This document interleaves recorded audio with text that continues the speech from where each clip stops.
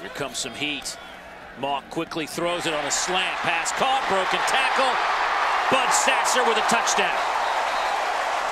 21 yards. UCF gambled with the blitz, and Missouri made him pay.